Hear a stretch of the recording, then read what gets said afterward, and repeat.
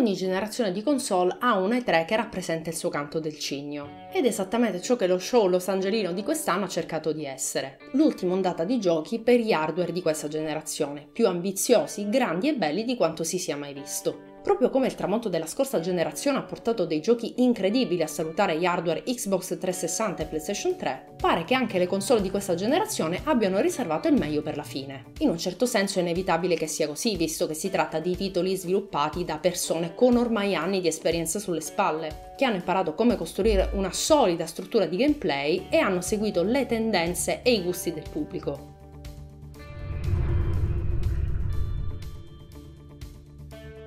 Nonostante ciò, sebbene molti dei titoli che abbiamo potuto vedere durante le tre avevano il termine canto del cigno stampato a fuoco su di essi, la fiera di quest'anno non ha avuto lo stesso impatto. Per certi versi il motivo è da ricercarsi nella situazione attuale delle aziende titolari delle varie piattaforme. Nintendo è ancora chiaramente agli inizi del ciclo vitale di Switch, mentre le performance piuttosto deludenti di Microsoft in questa generazione si traducono nella volontà del colosso di Redmond di parlare del futuro piuttosto che sedersi sugli allori del presente. Sony dal canto suo è la compagnia che guadagnerebbe di più dal protarsi della corrente generazione e la sua assenza allo show si è fatta sentire. A ogni modo, comunque, non sono questi i fattori che hanno spogliato le 3 2019 del suo ruolo di canto del cigno, piuttosto il senso di continuità che il mercato delle console ha assunto negli ultimi anni. Sappiamo infatti che sia Microsoft che Sony stanno operando un aggiornamento parecchio lineare del proprio hardware esistente, il che potrebbe culminare in una retrocompatibilità quasi universale su una piattaforma next gen. E inoltre ciò potrebbe rendere semplicissima la re-release degli ultimi giochi lanciati su PS4 e Xbox One, anche su PlayStation 5 e la prossima Xbox. Di conseguenza molti dei consumatori che hanno guardato gli annunci e i trailer di nuovi titoli sembrano partire dal presupposto che quelli saranno i giochi definitivi di questa generazione, non solo il canto del cigno del vecchio hardware ma anche l'avanguardia del nuovo. Ovviamente non è un fenomeno completamente nuovo.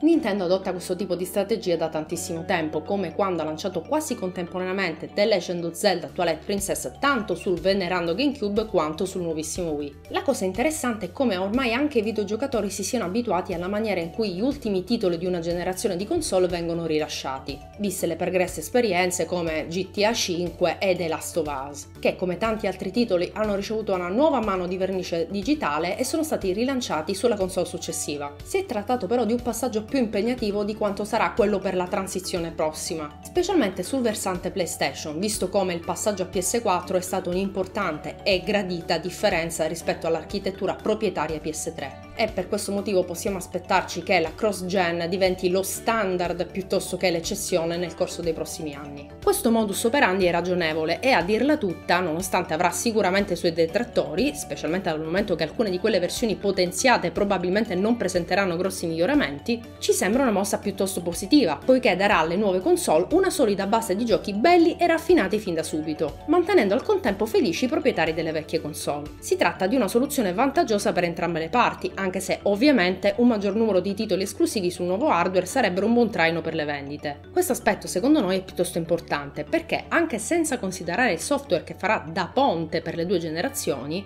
siamo già alle porte di una transizione generazionale che potrebbe rappresentare un cambiamento radicale per il mercato di massa.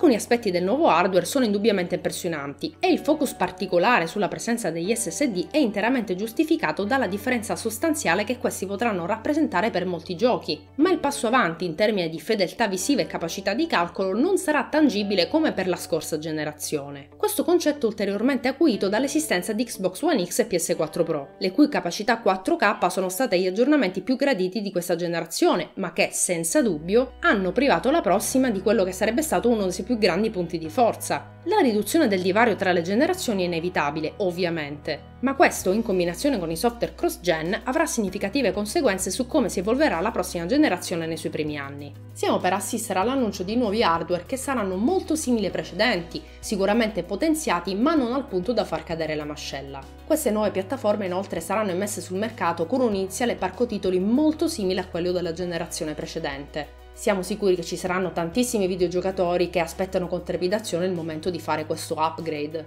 Ma per molti altri la sensazione sarà quella di un passaggio generazionale sensibilmente meno d'impatto rispetto al passato. E non bisogna escludere per niente l'ipotesi che PS4 e Xbox One potranno coesistere con i loro successori per diverso tempo, molto più di quanto abbiano potuto fare le macchine delle precedenti generazioni. Naturalmente non è un dato totalmente negativo, visto che se gestita correttamente la possibilità di abbassare il costo di quell'hardware, che ha mantenuto i suoi prezzi nel corso di questa generazione in maniera notevole, mantenendosi sul mercato insieme a una nuova console, potrebbe contribuire ad aprire nuovi sbocchi, soprattutto considerando che queste vecchie console non saranno effettivamente obsolete nel senso tradizionale, poiché i giochi che acquisterete per l'old gen rimarranno probabilmente fruibili anche se si passa al nuovo sistema. E molti nuovi titoli non è da escludere che continueranno ad avere le loro versioni old gen per qualche anno a venire. Il futuro tuttavia non è tutto rose e fiori, visto che la probabile sopravvivenza della corrente generazione di hardware potrebbe diventare una sorta di mercato parallelo per parecchi anni